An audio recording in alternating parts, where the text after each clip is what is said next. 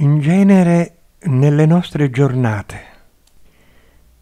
Che cosa viviamo in genere nelle nostre giornate? Commento. La paccottiglia della mente.